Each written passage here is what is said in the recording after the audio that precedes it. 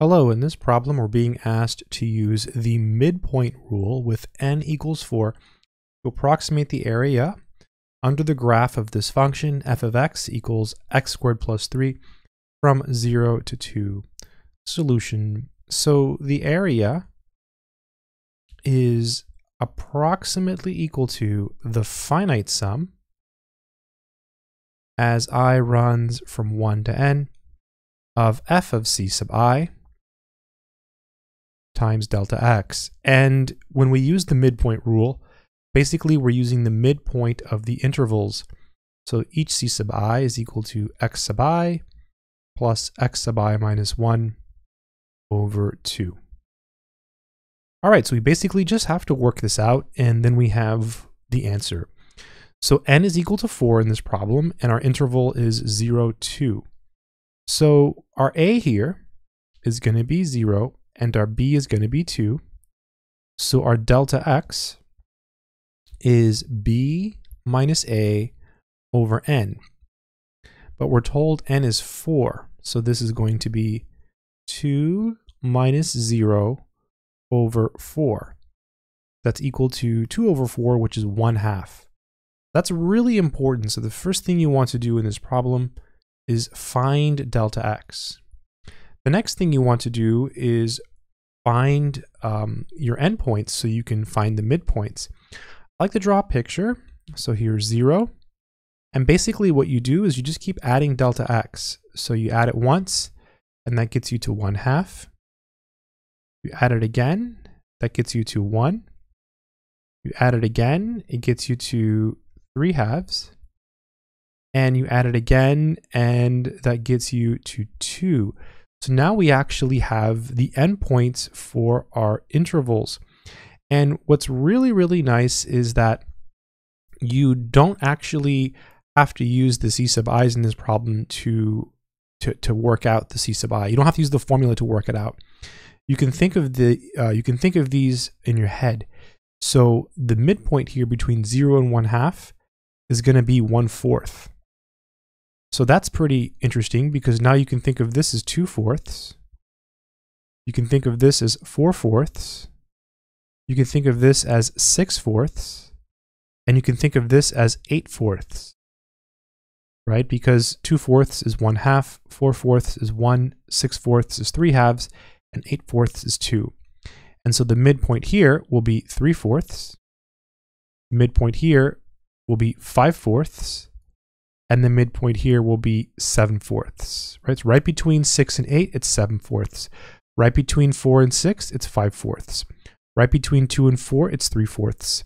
Right between 0 and 2, it's 1 fourth. So these are going to be your C sub i's. Now, uh, it doesn't always work this easily. Um, what you can do is you can actually just add them up and divide. So you can do it that way. You can add them up and divide. So C sub 1 is 1 fourth. C sub 2 is 3 fourths, C sub 3 is 5 fourths, and C sub 4 is 7 fourths. Just to show you, just so it's instructive, like say you wanted to find C sub 3, which would be this one. Basically, you would just add up, um, you would add up 1 plus 3 halves and divide by 2. So you would do 1 plus 3 halves over 2, which is 2 halves plus 3 halves over 2 which is basically 5 halves over 2, which is 5 fourths. So it's a lot of work, right? So it really helps if you can just graphically see it and find um, the midpoints. Okay, so f of x here was x squared plus 3. So I'm to write that down again. So f of x is x squared plus 3. And so our area is approximately equal to but basically uh, the function value at the midpoint uh, times uh, delta x. So we're adding them all up. So it'll be f of 1 fourth plus f of 3 fourths plus f of 5 fourths plus f of 7 fourths and all of that is being multiplied by delta x, which was 1 half. So it's still pretty messy, even for a simple problem like this, right? So you have all of the f of c sub i's and you're adding them up. And so x squared plus 3 is our f of x. So the area, let me switch colors here, is going to be, uh, let's see, 1 fourth squared plus 3. That's going to be the first one. That's going to be the first function value we're going to look at. Plus 3 fourths squared plus 3 plus plugging in 5 fourths, we'll get 5 fourths squared plus 3. And then 7 fourths squared plus 3. And all of this is being multiplied by 1 half. So this is a huge, like you definitely want to use um, a calculator here. Uh, you don't have to. You can probably do it without one. Maybe let's try to avoid it. Yeah, maybe we should try to see how far we can get without a calculator. So let's uh, simplify these fractions. This is 1 16th plus 9 16ths plus 25 16ths, ignoring the, the threes for now, plus 49 16ths. And we have 1, 2, 3, 4. So that's going to be 12. 3 times 4 is 12. And we have a 1 half. All right, now we have to do some addition here.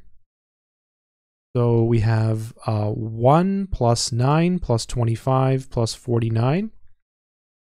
Forgot the 6 there. That's going to be 84 sixteenths plus 12 times 1 half. Okay, this is where I feel defeated. I'm going to type it into a calculator. Uh, approximately 8 8.625. That's the approximate area using uh, the midpoint rule. So um, kind of interesting, interesting problem. Um, it's quite messy.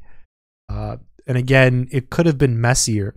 Uh, this was definitely an easy way to do it.